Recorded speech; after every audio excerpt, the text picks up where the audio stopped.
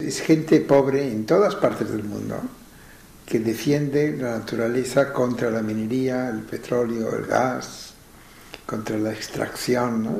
de, contra la, la, palma de aceite, en todas partes. Y por esto es mi libro, otra gente escribe lo mismo, ¿no? En fin, hay gente que hace documentales también sobre el ecologismo popular o ecologismo de los pobres. También se puede llamar el movimiento de justicia ambiental, que en todo el mundo está creciendo. En Ecuador, en quien ha defendido la naturaleza contra la minería, en INTAC, ¿no? Y está defendiendo a uno en Quimsacocha, es gente pobre o gente trabajadora, ¿no? Campesinos. ¿Quién ha defendido el manglar contra las camaroneras? Son las mujeres que trabajan en el manglar de la costa, igual que en Colombia también, o, en Honduras, en muchos sitios del mundo, en Brasil. Las mujeres que recogen cochas defienden el manglar contra la industria camaronera. No porque sean ecologistas, son ecologistas, pero no dicen que son ecologistas.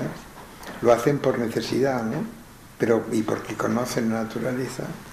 Y es lo mismo, en, Ecuador está lleno de casos parecidos como Sarayaco, por ejemplo, o quien, quien protesta contra la extracción de petróleo en sucumbíos, la gente pobre, indígenas, ¿no? Cofanes y el Frente de Defensa de Amazonía, que son gente pobre. O si Chevron al final les paga, no sean tan pobres, pero como Chevron por ahora no paga. Y entonces es gente pobre en todas partes del mundo que defiende la naturaleza contra la minería, el petróleo, el gas, contra la extracción, ¿no? contra la, la, palma de aceite.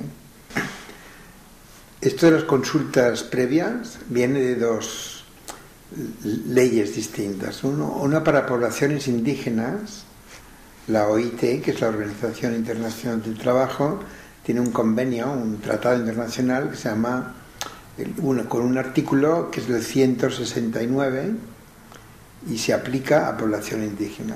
Y Ecuador lo ha ratificado, Perú, casi todos los países de América Latina lo han ratificado. Y dice que deben ser consultadas las comunidades indígenas. Ahora mismo en Perú hay un conflicto con una comunidad que se llama Cañaris, igual que la de Ecuador. De hecho son inmigrantes ¿no? de la época inca que los llevaron de un sitio a otro y están en el norte de Ecuador y ahí hay cobre. Y hace poco, el 30 de octubre de este año pasado, del, del 12, hicieron una consulta previa y gran mayoría contra la minería. Y ahora el gobierno dice que no, que no reconocen, que no son indígenas porque no están apuntados como indígenas. Y ellos hablan quechua en el norte de, de, de Perú, en Lambayeque pero hay otros casos, como en Colombia ha habido muy famoso hace poco, en Santander, también por minería de, oro, en el páramo de Santurbán se llama, que es un páramo que habría que dejarlo sin tocar, porque produce el agua y, es un lugar muy hermoso. Una compañía de Canadá, creo que es, o de Estados Unidos, Estados Unidos, quería, quiere sacar oro Greystar se llama, y hubo un referéndum, pero no allí mismo, sino en Bucaramanga, en la ciudad, pensando que si hacen esto se van a quedar sin agua o el agua estará contaminada. Entonces, debido a esto han estado...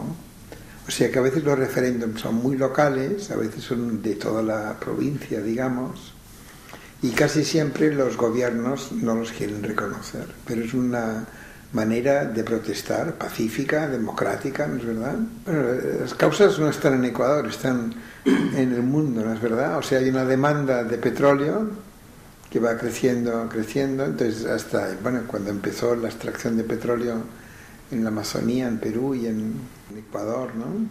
En el norte de Perú, es horroroso lo que han hecho, está súper contaminado. Entonces, ¿Por qué las compañías llegan a sacar petróleo? Porque ya no tienen más en Texas o en... En fin, les, conviene ir aumentando la extracción porque hay demanda de petróleo. ¿no? O sea, llega el petróleo a lo que llamamos las fronteras de la extracción. Porque sacar petróleo en la Amazonía, fíjate, es que sacar, subir a 3.000 metros, 4.000, bajarlo a la costa, es muy caro. Y es horrible lo que ocurre, ¿no? Y se pierde la biodiversidad, se mata población indígena. Entonces, ¿por qué lo hacen? ¿Porque son malos? No, porque nosotros, los consumidores de petróleo, estamos eh, llevando a esto. Y cuando tú quemas un barril de petróleo, mañana ya no existe más, necesitas otro, ¿no? Hoy, hoy en el mundo se van a sacar como 90 millones de barriles de petróleo en todo el mundo, ¿no? De estos 500.000 son de Ecuador. 90 millones, Ecuador es chiquito, 500.000. Mañana otra vez, cada día otra vez, otra vez, otra vez. Entonces, ¿qué pasa? Que Yasuní está en la frontera, la frontera con Perú, ¿no? Pero la frontera de la extracción.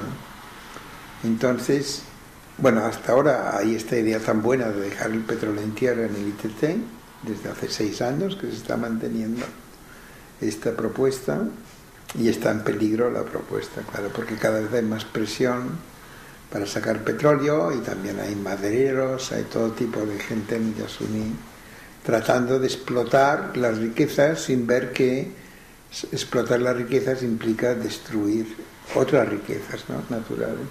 El precio de la gasolina aquí, ¿no? El precio de la gasolina en Barcelona.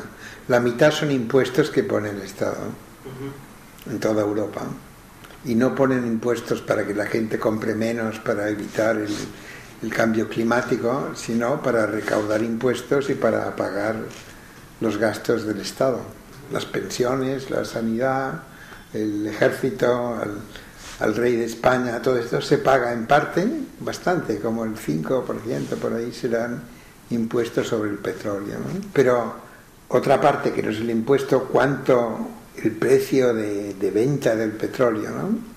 estos 80, 100 eh, dólares por barril, al cual está ahora en el mercado mundial, en parte se debe precisamente a esto, a que cada vez es más costoso sacar petróleo. Está bajando lo que en economía ecológica le llamamos el, el, rendimiento energético de una inversión en energía. El ROI se dice en inglés, que es la, rendimiento, o sea, tú tienes que poner 10 eh, calorías para sacar, eh, para el petróleo ahora será, metes 10 calorías y sacas 100. Bueno, parece muy positivo, ¿no? Pero es que antes metías 100 calorías y sacabas 1000. Digo, 10 calorías sacabas 1000 porque era muy fácil sacar el petróleo. En cambio, ahora tú mira en Canadá, con estas arenas bituminosas, que esto da poco rendimiento, ¿no? mucha energía y poco rendimiento. Entonces el, el excedente energético está bajando y el precio está subiendo. O sea que Ecuador en este momento está apurando la venta del petróleo que le queda. Y a veces venta anticipada, digamos, ¿no? Cobra algo o se endeuda con los chinos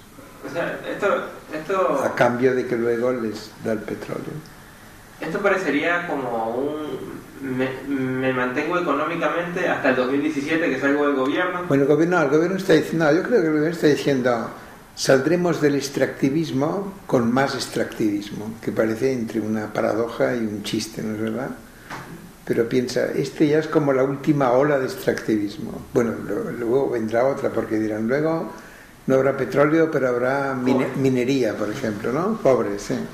Como en INTA, yo creo que lo quieren hacer en INTA, que es un es un abuso horrible y una cosa horrorosa porque Intac se ha mantenido y tienen alternativas de turismo, de muchas producciones que podrían hacer. Son poca gente, muy organizados hasta ahora, y el gobierno está dividiendo para poder sacar, venderse este petróleo, el, cobre ¿no? de Intac. En cambio es un país que va a ser apurarlo, todo lo que tenga, recursos, hacer minería a cielo abierto, que es horroroso, que nunca se había hecho en Ecuador, que producirá muchos conflictos, producirá muertos en la cordillera del Cóndor, igual que en Perú, que hay muertos continuamente. ¿no? Y bueno, sí, quizás lo que tú dices, Correa dice cuatro años más, pero yo creo que quizás no piensa en cuatro años, piensa en más años. Y piensa que a través de esto podrá hacer inversiones sociales y, mejorar. Mm pero todos piensan lo mismo, tanto da que sea Cristina Fernández como, como en Brasil, como Humala, santos. Da lo mismo los neoliberales que los nacionalistas, ¿no? Todos los gobiernos de América Latina están en lo mismo. Exportar, exportar, exportar materias primas.